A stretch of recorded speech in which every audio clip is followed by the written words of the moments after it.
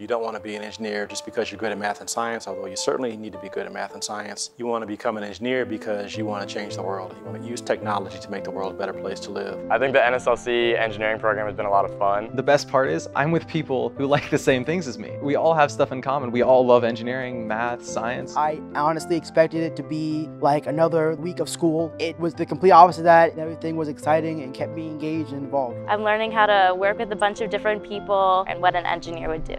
Well, these programs are really critically important because it's a very efficient and effective and well-organized way to get broader exposures. It's practical because they're at the stage where they're making decisions about careers. I really like the leadership aspect of NSLC. It creates a lot of team bonding and how to work in a professional experience while applying that to engineering. We spent all week working on these projects for the land, air, and sea models. I had never built a trebuchet before. We made wind turbines. The whole challenge was to produce the most voltage that you could. The SeaPerch, we had motors at the very end. We put them into the water and tested them out. For me, that was the first time that I've done soldering. The experience of being able to build something with other people is really great because not a lot of programs offer actually building a physical machine.